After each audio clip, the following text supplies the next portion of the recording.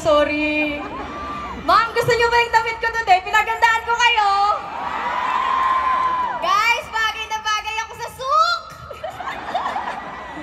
okay, kidding aside, guys, I'm just so happy and excited to be here. Well, sa iba sa inyo, most of you know that I grew up in Saudi Arabia and the Middle East is my second home. I want malam Arabi, sway sway Arabi. Yeah, and um, the last time na pumunta ako dito was 2006 for TFC Popstar. I'm not sure kung alam nyo yon baka kayo ay mga baby pa, yung iba dito. Yung iba po college pa, nangangarap mag-Dubai, ganon. so that was, that was a very, very long time. At um, uh, bago ko po ako kumantay ng dire-diretso, gusto ko i-shout out, meron akong friends dito. Kay, nandito ka ba? Ang dami naman ni Kay. Alam ko isang tao lang yun eh. Gusto ko, Kay? Kay, ang dami mo. Eto, may isa pa akong friend, Joe! Ryan Sefter Buen Viaje? Ryan Sefter! Si, si Ryan Sefter kasi, ikakwento ko sa inyo, no, mga Mars. Kwento ko sa inyo, si Ryan Sefter Buen Viaje, asan ba siya? Jo! Jo, nasan ka? Hindi, si Jo kasi best friend ni Gerald Napoles. Kilala niyo po ba si Gerald Napoles? Kilala niyo ba si Gerald Napoles? Ulitin ko, kilala niyo ba si Gerald Napoles? Okay, crush, crush, no. I have to speak in English because we have like international friends. Gerald Napoles is my boyfriend.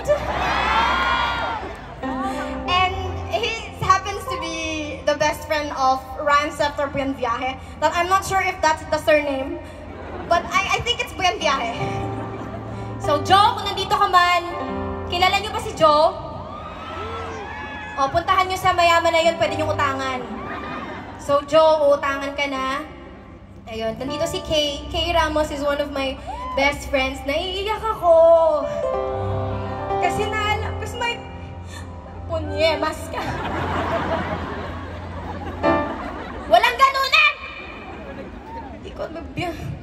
Wait lang guys, sayang kasi yung, yung mukha ko. Char.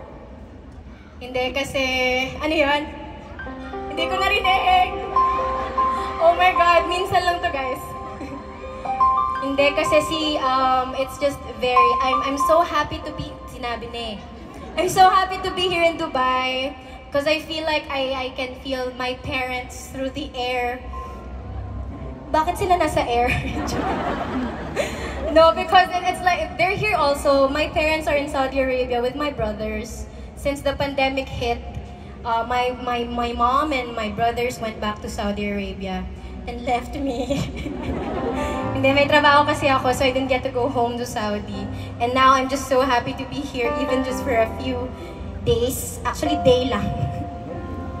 Ayun, so I'm just here, I'm, I'm in the Philippines with Gerald. So, kumikitang kabuhayan kami. Na speaking of kumikitang kabuhayan, naghahanap po kami ng resellers tsaka distributors. Kung gusto nyo pong mag-distribute ng Fit Mix, the new Slimming Hot Chocolate. Oh, follow nyo yan, Fit Mix PH, guys.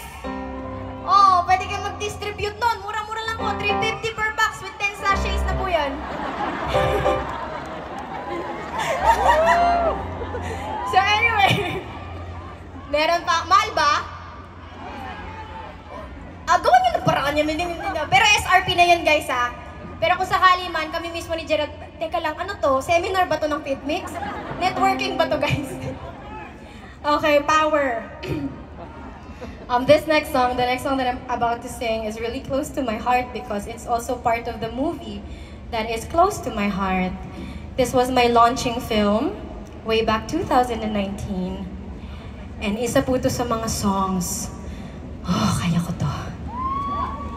So, if you guys know the song, please do sing along because I do believe that we're all likable, lovable, and you are all joable. Mahal na mahal ko kayo maging sino ka man.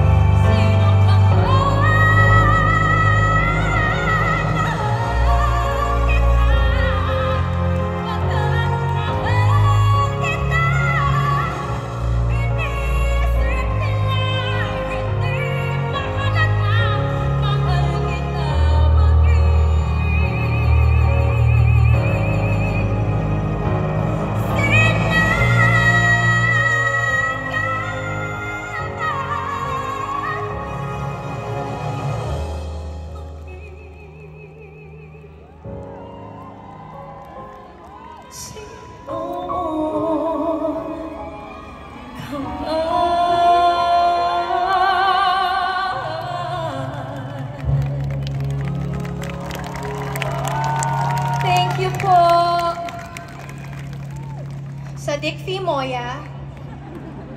Moya Sadik, yalla. Moya. Fi Moya. Water po, tubig. H2O.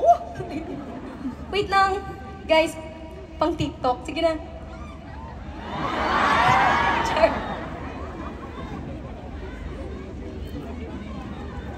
Hmm?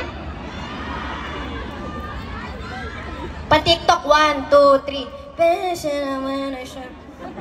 Runner, runner. Ayan. Okay. Okay lang po ba kayo? Especially, alam nyo, that song was specially dedicated sa lahat sa inyo. Siyempre, meron kayong mga naiwan sa Pilipinas. Sino ditong may jowa? Sino ditong walang jowa?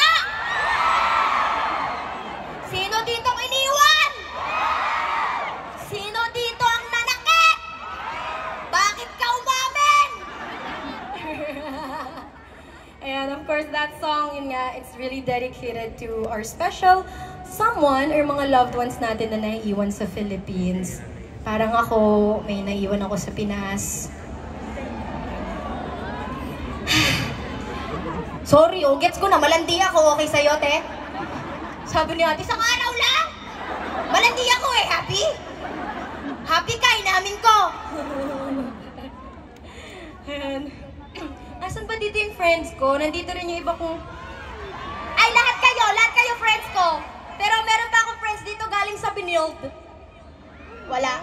Nawawala kayo? Sige, bahala. Mamaya magtutugs-tugs tayo. Guys, saan ba magandang mag-mall dito ng umaga? Samahan niyo ako mag-mall bukas. Saan? Sige, punta ako doon. Ay, bakit ko in-announce, Char? okay, so this next song naman is, um, again, dear to me because lagi siyang pinapakanta sa akin ng tatay ko pag nagkakaraoke. Um, Whew! Ba't ba puro birit yung nilagay ko dito? Pwede namang mga worsh-worsh lang. Okay, this song is dedicated to all of you, but um, before I sing it, I just want to thank, of course, the organizers for having us here. Um, Viva for having us, Dubai Expo. Thank you so much for this opportunity. Sana maulit, no? Tapos next time kasama ko yung jowa ko. Oh, promise magaling kumanta yun. Promise. Oh, hanapin niyo dyan si Joe. Kamukha yun ni Gerald eh. Oh, kung may kamukha, ay marami palang kamukha si Gerald. Oo nga pala. anyway, this song is for all of you. If